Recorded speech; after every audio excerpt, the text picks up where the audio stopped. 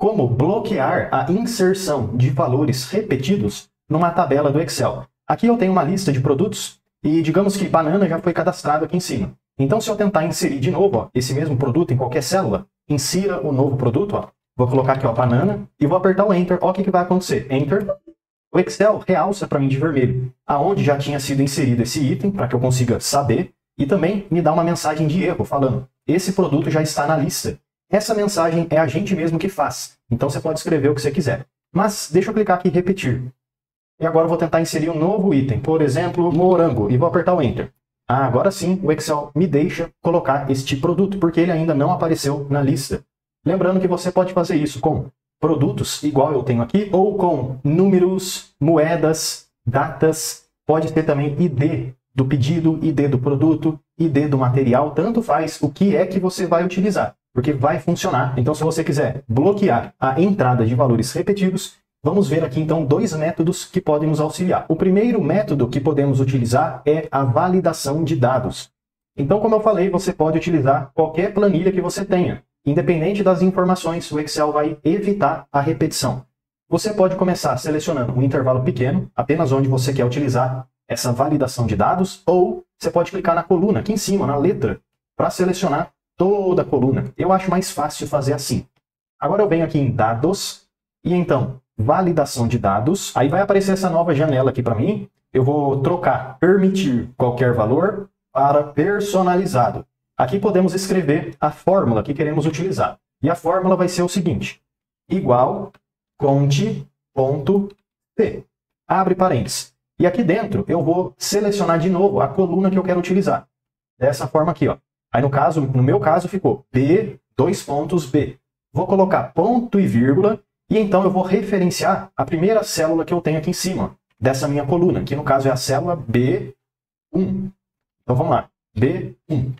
Fecho parênteses. Basicamente, essa fórmula de conte.c vai contar quantas vezes cada célula, cada valor aparece dentro dessa minha lista. Então, por exemplo, se eu pegar aqui a célula B4, que é a banana, quantas vezes a banana aparece na lista? Uma. Mas se por acaso ela aparecesse em outro lugar aqui da minha lista, o resultado agora seria 2, ou 3, ou 4 e assim por diante. Mas, de qualquer forma, o que, eu tenho que fazer aqui é a contagem sempre tem que ser igual a 1. Se for 2, 3, 4, ou seja, um número maior do que 1, isso indica que os itens estão sendo repetidos. Já apareceram mais de uma vez, duas, três, quatro e etc.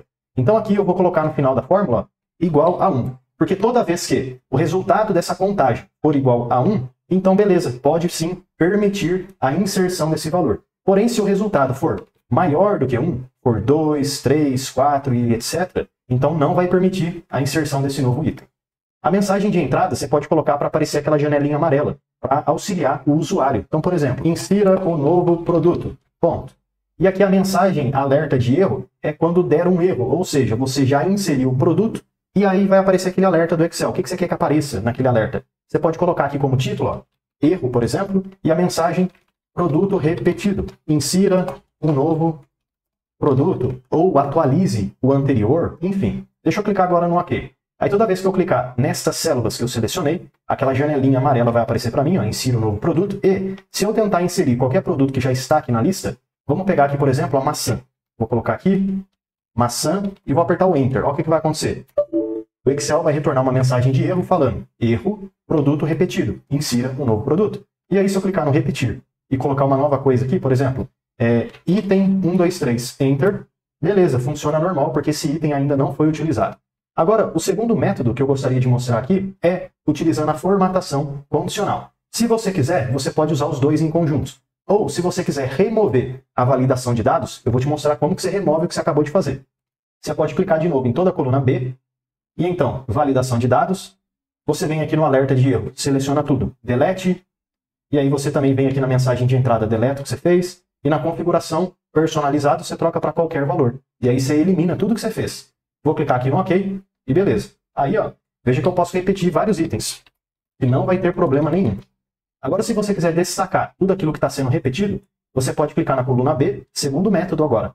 E então, página inicial, formatação condicional, regras de realce das células e valores duplicados. Clico aqui Agora, toda vez que existir um produto, um item, alguma coisa que se repete dentro desse seu intervalo, vai ser realçado de vermelho, ou vai ser realçado de amarelo, ou de verde, e assim por diante. Deixa eu ficar aqui, por exemplo, com o vermelho. E então vou clicar aqui no OK. Legal. Mas lembrando que a formatação condicional que destaca aquilo que se repete, ela não vai te impedir de repetir um item, porém ela vai te avisar que o item foi repetido. Ó, Enter. Aí, ó, dá pra gente ver que esse item ficou vermelho porque ele já apareceu anteriormente. Mas, de qualquer forma, sim, eu consigo inserir de novo esse item. Beleza? Então, dois métodos diferentes de como evitar valores duplicados aqui na planilha do Excel. Se você tiver alguma dúvida ou sugestão para os próximos vídeos, deixa aí nos comentários, porque todo dia tem vídeo novo. Ah, já deixa eu aproveitar e te fazer um convite mais do que especial. Clica no link da descrição e vem aprender mais sobre Excel comigo no curso completo de Excel. E mesmo que você não saiba nada sobre Excel, você vai aprender desde o absoluto zero até o avançado, e além de vários bônus exclusivos, como por exemplo o bônus de Power BI, onde você vai aprender desde o zero até o seu primeiro dashboard, você tem direito, você tem acesso ao certificado de conclusão.